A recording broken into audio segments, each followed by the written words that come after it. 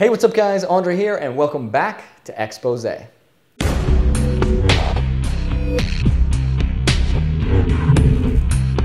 Alright guys, before we get into it, Christen has the news. Hey guys, let's get into the news. Poolside. It's a relaxing environment this week. First up, Rudy Coby made an appearance on Crave Online's B Movie podcast recently. So a little talk about movies, lots of talk about Rudy. You're definitely gonna want to check it out. Killer Magic premiered in the UK. The show stars Dee Christopher, Chris Cox, Ben Hart, Damien O'Brien, and Jazz Vegas. The show involves the magicians competing against each other in a series of tasks. They score each other, and the magician that ends up with the lowest score then has to attempt a dangerous illusion. Sounds pretty awesome, so if you are in the UK, tune into BBC Three for the six-part series. The Hollywood Reporter announced recently that Derek DelGaudio is attached to a new Disney film that's said to be about the last hundred years or so of magic through the eyes of a magician. Huge congrats to Derek on that. We'll keep you apprised of more details on the film as they are released. Neil Patrick Harris was in a yogurt commercial recently doing some awesome magic. Definitely check that out. It's NPH. How can it be bad? It's legendary if you saw the How I Met Your Mother finale.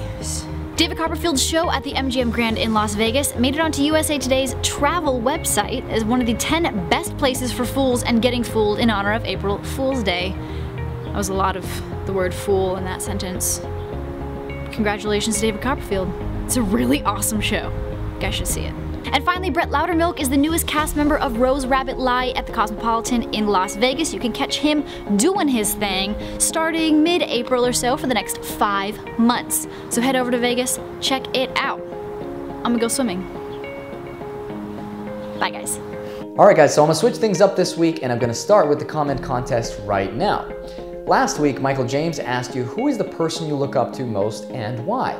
And before we reveal who the winner is, I want to thank you guys so much and extend the gratitude from Zach Mueller, Michael James, uh, and myself, of course, and saying thank you so much for uh, picking us and whoever commented and saying us. Really, really humbling. Thank you guys so much, sincerely. That said, I was thinking to myself, uh, you know, if anybody picks the same person I'm thinking, uh, then they're gonna win. Uh, because we have a really young audience viewership, and I doubt anyone's gonna think of the same person I'm thinking. And uh, I said that if that did happen, I would eat a playing card.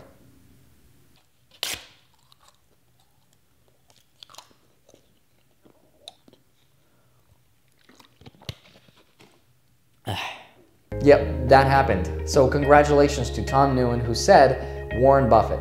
Uh, if you guys don't know who Warren Buffett is, please look him up. Uh, I wish I had known who he was and has seen his videos, seen his presentations and his talks when I was 15 and I was working a summer job, uh, saving up for a camera and you know to film my flourish videos, my cardistry. Uh, it would have been really, really helpful. But it's great to be reminded that there is somebody like Warren Buffett that exists out there. So for the few of you that will check him out, please do. And again, he's not a magician, but it will do magical things for you in the future if you take it seriously. So please go do some research. This week's comment contest is gonna be a little different. I want to hear what you guys did for April Fools. Did you prank your friends? What is the craziest thing you've done on April Fools? Uh, tell us all your stories. And if you didn't do anything fun and crazy exciting, tell us a joke. Make us laugh, make us cry, say something funny, and we'll pick the winner. And uh, you'll get Foundations 3 or Monument, Genesis, or Solo. It's great. Whatever it is you want. Uh, if you're a flourisher or a card expert, let us know and uh, we'll forward that to you. Uh, but comment in the section below and uh, make us laugh. Finally, this week we have two new wire releases by Dan Hammond. He's got great ones. First of which is Popcorn, which is a color change or a card switch.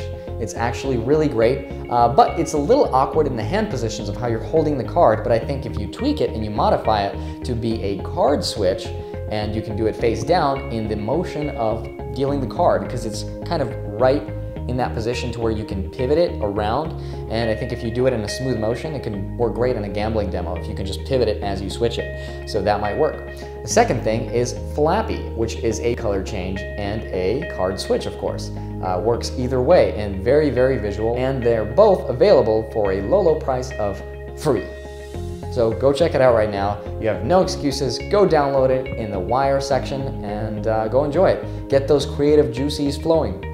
That's it for me, and I will see you guys next time.